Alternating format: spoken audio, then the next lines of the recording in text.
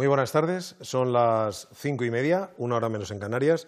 Comienza la rueda de prensa con los datos sanitarios actualizados al día de hoy del director del Centro de Coordinación de Alertas y Emergencias Sanitarias, el doctor Fernando Simón. Buenas tardes. Hola, muy buenas tardes a todos. Bueno, los datos de hoy se siguen con esta buena tendencia que hemos visto en los últimos días, sobre todo ayer, que vimos un descenso muy importante, casos por debajo de los 300. Hoy seguimos con, casos por debajo de los 300, se han notificado 295 casos nuevos, pero sí que tenemos alguna información más detallada por estas mm, modificaciones que ha habido en los sistemas de vigilancia que hemos comentado en estos días pasados. Sabemos que de esos 195 personas diagnosticadas ayer son solamente alrededor de 17 en las comunidades autónomas que aportan ya la vigilancia o los datos través del sistema nuevo de notificación. Quedan solamente cuatro comunidades autónomas por aportar esta información individualizada. 17 puede ser un poquito más, pero desde luego los notificados ayer, los diagnosticados ayer quedan muy por detrás de los nuevos notificados que tienen fechas de diagnóstico previas. También sabemos, por ejemplo, que durante eh, los últimos siete días ha habido 139 casos en total con inicio de síntomas en esa semana. Es decir, la evolución eh, real de la epidemia es probablemente incluso bastante mejor de lo que esos datos que ya hemos visto que son buenos nos están dando a entender. También sabemos, por ejemplo, que uno de los objetivos de esta nueva fase, que es eh, reducir el tiempo entre el inicio de síntomas, la consulta médica y el diagnóstico, eh, se vaya produciendo y que se mantenga en un plazo de entre 24 y 48 horas. Según los datos de los que disponemos, ya les digo que nos faltan todavía cuatro comunidades autónomas por aportar parte de esta información, pero según los datos que tenemos ya estaríamos cumpliendo ese objetivo de reducir por debajo de las 48 horas el tiempo entre la primera consulta y el diagnóstico, lo cual son eh, medidas que nos permiten pensar que en caso de que hubiera brotes o rebrotes de la epidemia seríamos capaces de localizarlos quizás suficientemente a tiempo para poder reaccionar rápido y contenerlos de la forma más localizada posible. Además, vamos a hablar de la evolución de los hospitalizados. Me van a poner unos gráficos, si no hay problema. Exacto, aquí estamos viendo la evolución de los hospitalizados desde el inicio de, la pandemia, desde los primeros días. Eh, vemos cómo, hubo una parte grande de hospitalizados, un pico importante a final del mes de, marzo y luego vemos cómo va decayendo con algunas variabilidades eh, típicas en este tipo de en la evolución de este tipo de pandemias y vemos que ahora mismo estamos en una cifra realmente baja. A día de hoy tenemos 166 eh, hospitalizados, eh, nuevos hospitalizados y como ven en, la gráfica en la que se ha hecho un zoom, una ampliación de la última fase de los incrementos, vemos que hay una reducción importante respecto a los días anteriores, pasando en las cinco últimas semanas desde un incremento diario del 1% a un incremento por debajo del 0,2%. En cuanto a los ingresos en las UCIs, es la siguiente gráfica, se ve poco más o menos una evolución similar, pero los eh, ingresos en las UCIs han pasado también desde alrededor del 0,8 hace cinco semanas de incremento diario, 0,8%, a un incremento menor del 0,2%. El número de nuevos ingresos en UCI a día de ayer fueron de 11 nuevos ingresos en UCI, lo cual es una cifra que comparada con solo unas pocas semanas antes nos pone en una situación muy, muy favorable. La parte más triste, los fallecidos, que siempre tenemos que, que lamentar que siga habiendo, pero lo cierto es que la evolución también es muy, muy favorable, como pueden observar Solamente en las últimas cinco, semanas hemos pasado de incrementos diarios de hasta el 1,6% por encima de nuevos fallecidos cada día a la cifra actual que está por debajo del 0,4. Se ha reducido en cuatro veces la, cantidad o el incremento diario de fallecidos, siendo los de hoy de 83, algo por encima de los 59 de ayer, pero por debajo de los 87 de hace dos días, es decir, en, la situación habitual con esas pequeñas ondulaciones que vemos a lo largo de toda la curva. Es cierto que hoy es martes, por lo tanto, los posibles retrasos en las notificaciones que haya podido haber debidos al fin de semana se han ido, se han ido recuperando y entre hoy y mañana veremos ya la situación real de esta semana. Por lo que vemos hoy, la situación parece eh, que se mantiene no muy lejos de lo observado el fin de semana y, por lo tanto, yo creo que podemos valorar como muy satisfactoria la evolución que estamos observando en la epidemia. Sin embargo, tenemos que seguir siendo prudentes porque, si recuerdan los datos del estudio de seroprevalencia que se dieron eh, hace ya eh, unos días, eh, hasta, bien, hasta hace bien poco no detectábamos nada más que a nivel global alrededor de un, de un 10% de las personas que se infectaban. Razones las hemos discutido muchas veces en algunos casos porque eran personas asintomáticas y por lo tanto no había razón para que fueran a los médicos, al sistema donde se les puede detectar, otras veces porque eran con sintomatología tan leve que no consideraban que tuvieran que ir al médico y en algunos casos, sobre todo en el momento más álgido de la epidemia, debido a los problemas que había por, para tomar a cargo al volumen tan importante de pacientes que llegamos a tener en un momento dado. Todo esto ahora mismo se ha ido recuperando, ahora mismo tenemos un sistema de detección probablemente mejor, no sabemos si se nos quedan fuera muchos, sabemos que tenemos muy pocos casos detectados, sabemos que probablemente detectamos un porcentaje mayor que lo que detectábamos hace unas pocas semanas, pero aún así puede haber eh, personas infectadas que no detectemos y que en algún momento determinado puedan generar cadenas de transmisión que no controlemos eh, desde su primer momento y que tengamos que ser capaces de detectarlas a partir de aquellos que mm, presentan un cuadro suficientemente grave como para ir al médico. Em, tenemos que seguir siendo prudentes, vamos muy bien, pero tenemos que mantener esta evolución todavía durante un tiempo para garantizar que el riesgo de los rebrotes se reduce al mínimo. Será muy difícil eliminar ese riesgo, pero sí que podemos reducirlo mucho y todavía estamos en situación de tener que reducirlo. Yo creo que, sin más, podemos pasar a las preguntas. Muy bien. El periódico de, el periódico de Cataluña eh, Fernando Simón le pregunta cómo se está garantizando que los nuevos casos de infectados que no requieren ingreso hospitalario y sus contactos cumplan con el aislamiento domiciliario. ¿Y cuál es el criterio que deberían seguir los ciudadanos que salgan a la calle para respetar la obligatoriedad de llevar mascarilla en espacios abiertos? ¿Deberán ponérsela cuando se acerquen a una aglomeración? ¿Llevarla puesta si andan por una calle o una zona habitualmente concurrida? ¿No le parece una norma que puede dar eh, lugar a interpretaciones muy subjetivas? Bueno, en principio vamos, primero el tema de, cómo se cumple el aislamiento en, la atención domiciliaria. Vamos a ver, hay un mecanismo de seguimiento de, estas personas a las que prácticamente todas las comunidades se les llama, según el mecanismo que tengan establecido, una o dos veces al día. Y en principio eh, estas personas están aisladas. Entendemos que la población es suficientemente responsable como para entender los riesgos a los que exponen los demás. Garantía del 100% no podemos tenerla, eso está claro. Pero sí que es cierto que si eh, garantizamos que prácticamente todos ellos, aunque pueda haber alguna persona que pueda hacer algo, digamos, eh, poco solidario con el resto y quiera salir, si al salir eh, mantiene las medidas de precaución, por lo menos reducimos de forma importante el riesgo al que, al que pueda exponer a otras personas. Pero, desde luego, garantizar un aislamiento domiciliario eh, al 100% requeriría que hubiera una persona, una fuerza de seguridad del Estado en la puerta de cada paciente aislado. Esto no se puede hacer. Por lo tanto, eh, los servicios de atención primaria están haciendo un esfuerzo muy importante para concienciar a las personas no solo del riesgo al que están ellos, sino del riesgo al que, exponen a los demás. Y entiendo que eh, la responsabilidad personal tiene que ser parte del, juego. En cuanto al uso de mascarillas en espacios abiertos, la mascarilla solamente se tiene que utilizar cuando no se pueden mantener las distancias de seguridad eh, y, por lo tanto, tiene que ser en, momentos concretos, cuando se está en espacios abiertos o en espacios cerrados. Es una interpretación, cierto. En un momento determinado uno puede, no es fácil valorar a veces si hay una distancia de dos metros o menor o mayor. En caso de duda, pues yo creo que lo lógico es que las personas responsables se pongan la mascarilla. Si es una, situación evidente en la que no hay riesgo porque las distancias son amplias, pues obviamente se tienen que quitar. La idea principal es que la gente se dé cuenta de la importancia de utilizar las mascarillas cuando hay riesgo de exponer a otros a una posible infección o aquellos que son especialmente vulnerables cuando ellos se pueden exponer a una posible infección. Por lo tanto, es importante, primer paso eh, a dar, que es salir de casa con la mascarilla. Y a partir de ahí hay que valorar las situaciones.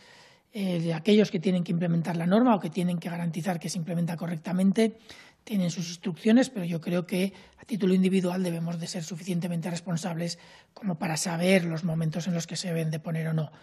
Eh, por supuesto que darse un paseo por el campo eh, una persona sola, sin nadie a su alrededor, es obvio que es muy fácil hacer esa distinción. Cuando uno está en una ciudad eh, muy poblada y en un momento determinado del día, por las franjas horarias, puede haber mucha más gente en las calles, es cuando puede suscitar más, eh, más dificultades para interpretar la norma. Pero yo creo que la norma no es muy complicada, son mm, garantizar una distancia de alrededor de dos metros. Si, eh, lógicamente, cuando uno está en la calle ve que eso no se puede garantizar, se pone la mascarilla y ya está. Yo no creo que tengamos que explicar mucho más a la población española, está muy por encima de ese nivel de comprensión. Cambio 16 le pregunta qué podría significar desde el punto de vista sanitario que el estado de alarma se aplicase por zonas. El estado de alarma en sí, eh, bueno, yo no, no, no, si les digo la verdad, yo no, no me he leído nunca eh, los textos legales que definen el estado de alarma. Pero el estado de alarma, según eh, mi entendimiento, es una herramienta para poder aplicar normas que de otra manera, por nuestro nuestras leyes, nuestro background, nuestro contexto legal no se podrían aplicar, pero que en un momento determinado, por interés general, por interés, en este caso sanitario, o por otros intereses, puede ser importante el poder aplicarlas. Y es lo que ampara el que se puedan aplicar, por ejemplo, algunas restricciones a la movilidad de las personas. Es una herramienta. El estado de alarma eh, se puede decretar para aplicar algunas normas o en algún momento determinado para reducirlas o para tenerlo solo en caso de que se produzcan situaciones particulares. Eh, ¿Que se pueda aplicar por zonas?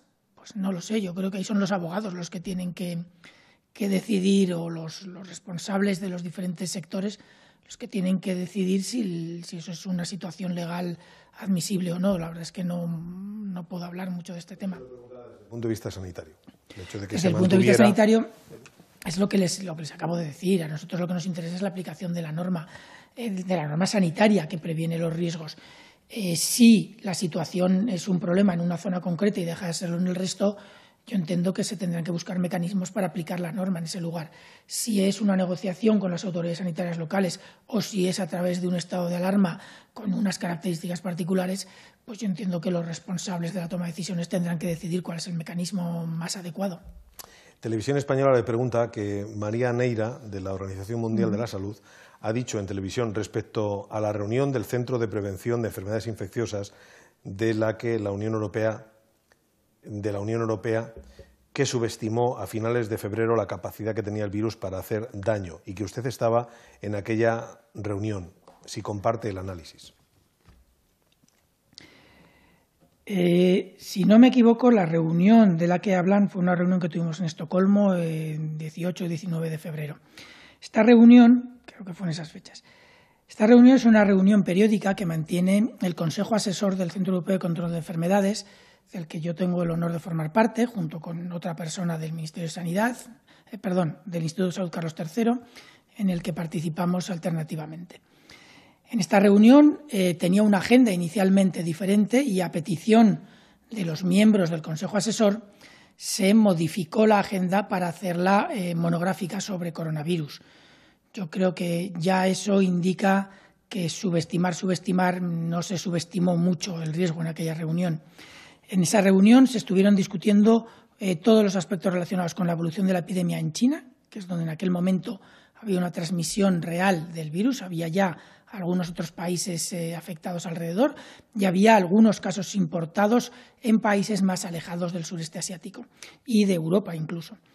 En aquella reunión se estuvo hablando tanto de las capacidades del virus, del aspectos relacionados con el virus, aspectos relacionados con las medidas de salud pública que pudieran ser aplicables, aspectos relacionados con medidas de movilidad de las personas y de los mecanismos de detección sobre qué personas se debían hacer eh, los análisis y las pruebas en caso de, viajeros. Se habló también, si no recuerdo mal, de los recursos disponibles a nivel de la Unión Europea y el impacto que estaba teniendo en los países de la Unión Europea eh, el cierre de las exportaciones desde China, porque en aquel momento estaban en el periodo álgido, de su epidemia y bloquearon las exportaciones porque tenían ellos necesidad del uso de todos de todos los recursos y algunos otros aspectos relacionados. En aquella reunión Si yo recuerdo bien, en ningún momento se subestimó el riesgo, se valoró el riesgo existente en aquel momento. Una de las discusiones, por ejemplo, fue que estando confinada la provincia de Hubei y no teniendo casos en prácticamente ninguna otra provincia de China, salvo casos importados, valorar si el, riesgo de importación era diferente al de una desde una provincia de China sin casos que desde otro país donde hubiera habido casos importados.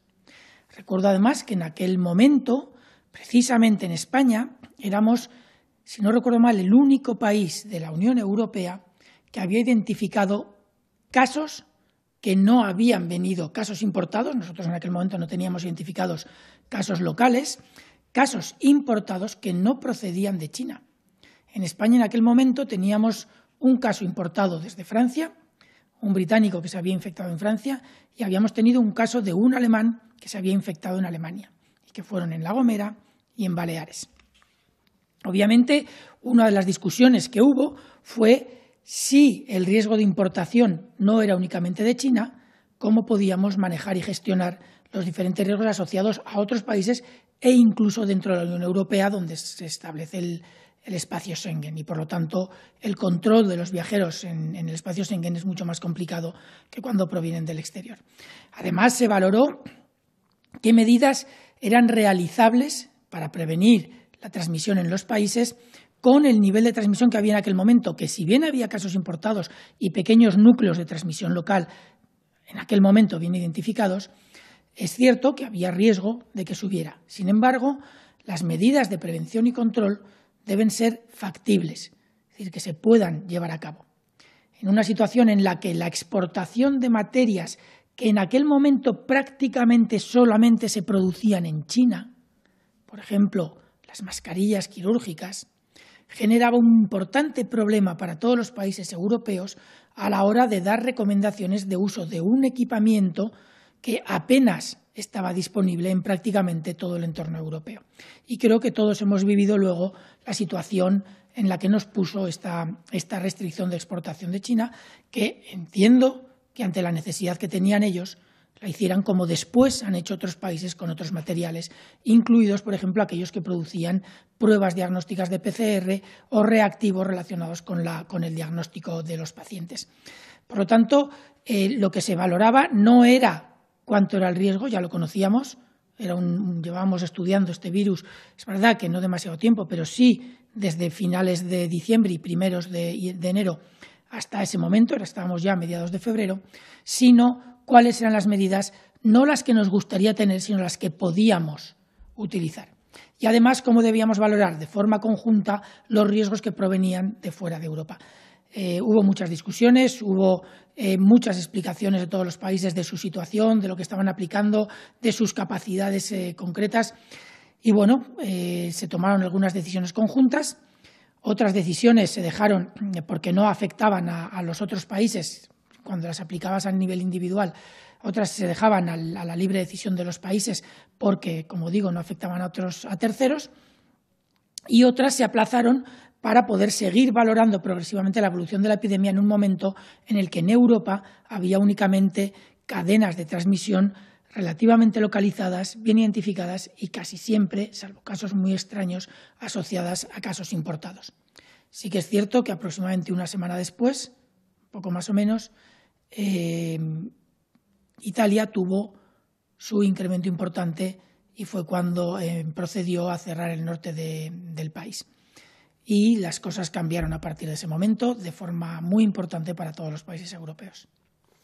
Doctor, hay varias preguntas sobre los cambios de fase, especialmente de fase 0 a fase 1. Se los planteo. Por ejemplo, Leco eh, pregunta eh, sobre el Colegio de Médicos de Madrid, que dice que atención, la atención primaria no está preparada en Madrid para un rebrote y hay otros testimonios que alertan de que los refuerzos prometidos por la CAM siguen sin llegar. ¿Cómo se justificaría un paso a fase 1 de Madrid si nada hubiera cambiado desde la semana pasada y si la comunidad siguiera sin cumplir el plan de prevención diseñado? Esto en relación con Madrid. En relación con el País Vasco, el grupo Nervión Euskadi pregunta ¿Euskadi está en condiciones de pasar a la fase 2 sin haber activado la una por completo? ¿No hay que esperar 15 días entre una y otra? Bueno, en cuanto a la, a la Comunidad de Madrid, pero también es aplicable a todas las demás comunidades.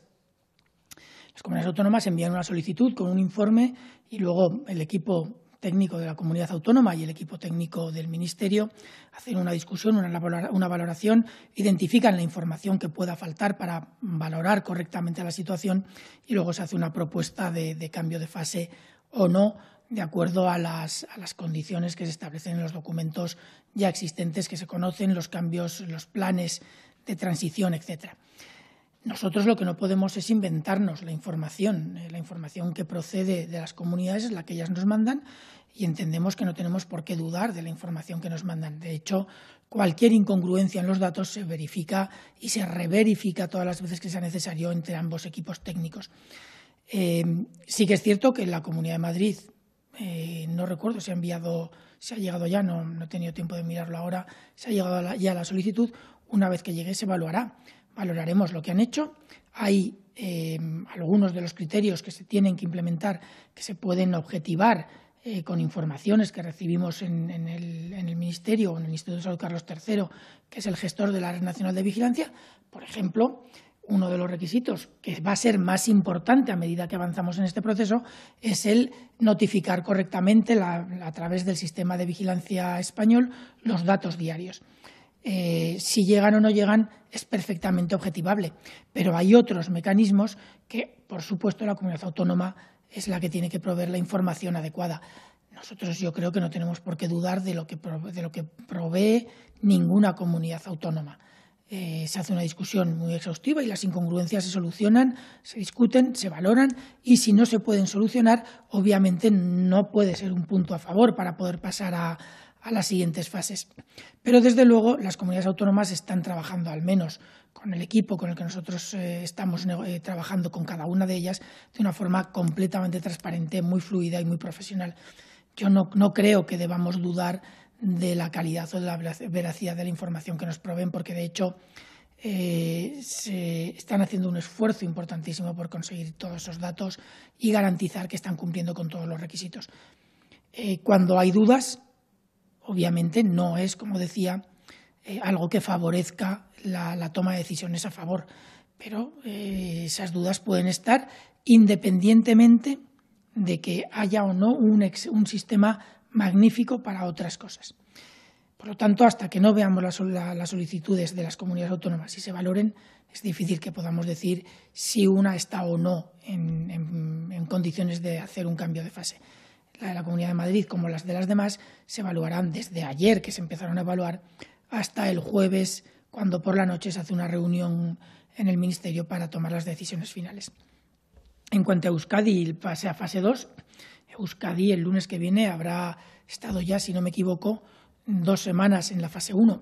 Si la situación epidemiológica, eh, las capacidades, si la situación epidemiológica continúa como está eh, evolucionando actualmente si las capacidades se mantienen, que no tienen por qué no mantenerse porque el, País Vasco, Euskadi, las tiene, si los mecanismos de vigilancia y de detección precoz se mantienen, porque el País Vasco lo está haciendo, eh, como muchas otras comunidades autónomas, muy bien, eh, la evaluación será la que sea, pero si todo está bien, después de dos semanas de, estar en la fase 1, no entiendo por qué no tendría que pasar a la fase 2 como cualquier otra comunidad que esté en la misma situación. Mm, Radio Intereconomía y Servimedia plantean nuevas cuestiones sobre Madrid. Decía Radio Intereconomía, si preocupa la elevada cifra de contagios en Madrid con respecto a otros días, corresponden a una mayor capacidad de detectar los casos de nuevos contagios. Servimedia le pregunta qué importancia y riesgo concede al elevado número de casos reportados hoy por Madrid en comparación con las dos semanas anteriores. Bien, eh, los contagios en Madrid eh, son los que se han infectado en los últimos días. Hay que diferenciarlo de los notificados en Madrid. Los casos notificados por Madrid a día de hoy han sido de 92. Pero si miramos el detalle, porque Madrid ya está notificando de forma individualizada y vemos los datos que han notificado de cada uno de esos pacientes infectados, vemos que en los últimos siete días se han infectado o han iniciado síntomas únicamente 32. Y en los últimos 14, en 14 días, 121. Eso implica que en los últimos 7 días han sido 32, que han notificado 92, porque ha habido un cierto retraso o se han recuperado casos antiguos que no se habían notificado previamente. Pero la transmisión actual en los últimos siete días es de 32. Con diagnóstico a fecha de ayer, diagnóstico a fecha de ayer, no ha habido ningún caso notificado por Madrid. Puede ser que mañana tengamos alguno nuevo, porque algún caso eh, notificado al que se tomó muestra ayer se diagnostique y las fichas se hayan podido o los resultados hayan podido tarzar un poco más de, la cuenta en llegar. Pero lo cierto es que eh, lo que está notificando Madrid eh, son unas cifras con esas fluctuaciones habituales. Es verdad que ha tenido dos o tres días un número muy bajo de nuevos contagios para ese día, pero como vemos, los nuevos infectados o los nuevos diagnosticados, es más correcto, de ayer son cero pero sí que es verdad que tienen más casos que iniciaron síntomas entre 7 eh, y 14 días previos, lo cual no implica nuevas infecciones detectadas a día de hoy.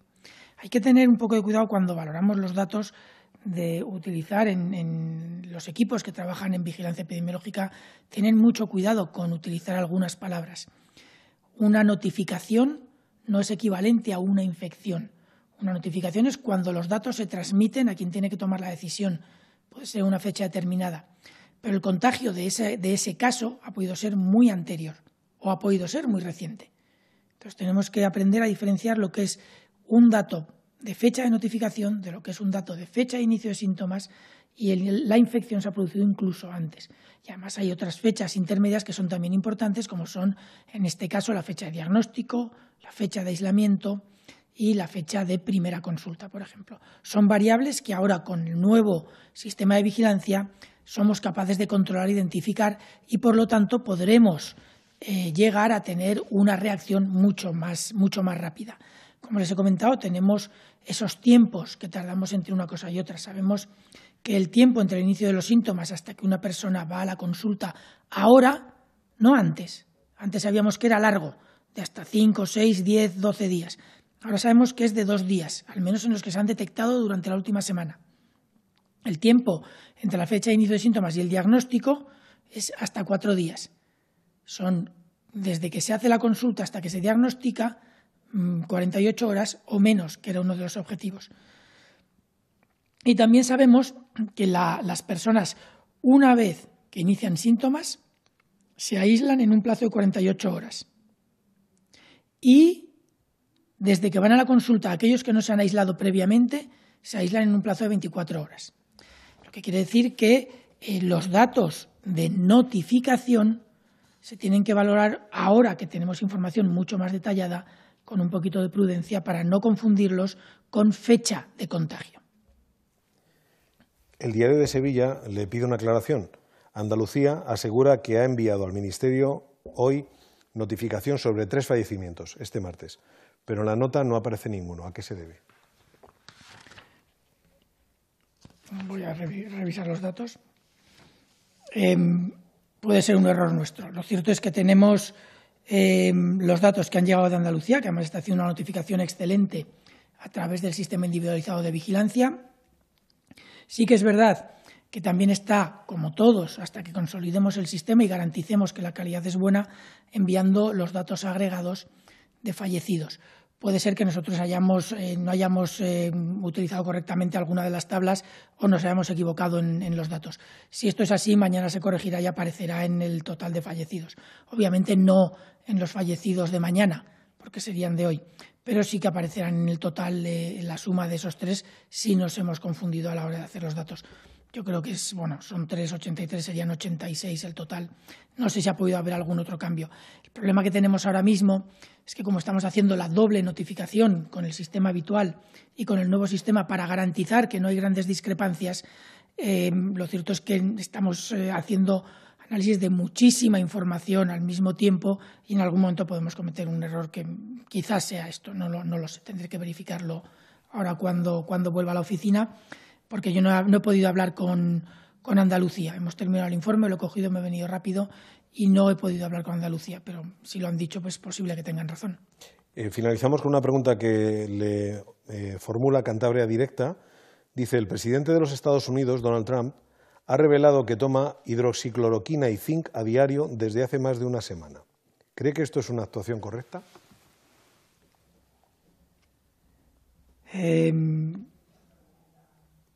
yo creo que lo que puedo hablar es de si es una, una actuación eficaz. Eh, la corrección o no es una cuestión un poco más moral o menos moral, no lo sé. Eh, la hidroxicloroquina se ha demostrado en algunos estudios que puede reducir hasta cierto punto el riesgo de infección. Eh, las personas que han pasado la enfermedad en principio no tiene ningún sentido que la utilicen, pero se ha demostrado en algunos sitios que puede reducir, no, no de forma importante, pero sí que puede reducir algo el riesgo de infección y puede favorecer en algunos casos la evolución. El zinc no lo sé, si soy honesto, no, no sé qué efecto tiene el, zinc en, en, el coronavirus ni en, la, ni en la gravedad o no de aquellos que se puedan infectar. Sí que es cierto que la hidroxicloroquina durante algún periodo eh, hubo también problemas de abastecimiento por la misma razón que el resto de los productos. la materia prima para, producir la hidroxicloroquina se produce casi toda en China. Es nuestro, nuestro productor fundamental a nivel global. Eh, y en algún periodo de todos estos meses hubo problemas para acceder a, la hidroxicloroquina que estaba muy demandada para aquellos que estaban en alto riesgo de exposición, por ejemplo, los profesionales sanitarios. Dicho eso, eh, la hidroxicloroquina no es inocua. Eh, la hidroxicloroquina es un medicamento que se utiliza habitualmente para, la prevención de la malaria y en algunos casos para el tratamiento de la malaria, aunque ha llegado a generar resistencias en algunos lugares, y eh, tiene algunos efectos secundarios hasta en el 7% de las personas que lo utilizan. Normalmente son efectos secundarios menores, problemas gástricos, irritación gástrica, alguna irritación de piel, algunos problemas que son, eh, que son menores, que no se da mayor importancia y que una vez que se deja de tomar desaparecen. Eh, pero sí que es verdad que en un número de personas muy pequeño puede llegar a producir alguna sintomatología neurológica o psicológica que puede llegar a ser un poco más grave, llegando a cuadros, eh, no sé exactamente si, si, el término es psicopáticos, pero sí cuadros con cambio de carácter, con, con problemas de personalidad en porcentajes muy pequeños. El problema es que como ahora hay mucha gente tomándolo y además tomándolo durante un tiempo muy importante, porque son gente que se está exponiendo, y sabemos además que el efecto, algunos de estos efectos son dependientes de la dosis que se toma, es decir, cuanto más tiempo se está tomando, más probabilidad hay de que algunos de estos efectos sucedan, siempre con una probabilidad muy baja, pero claro, una probabilidad muy baja eh, entre muchísima gente que lo toma acaba siendo un número bruto de personas que no es tan pequeño. Entonces, yo creo que el, tomar la hidroxicloroquina en colectivos concretos durante periodos concretos y luego dejando márgenes de, tiempo de lavado para que no se produzcan algunos de estos efectos secundarios, eh, puede estar recomendado en una persona que lo vaya a tomar durante largos periodos y que además tiene una probabilidad de infección muy baja, como entiendo que puede tener el presidente de los Estados Unidos, pues es una decisión personal que yo no voy a valorar. Doctor, pues muchísimas gracias por su comparecencia y gracias a los medios por formular sus preguntas. Buenas tardes. Gracias a ustedes.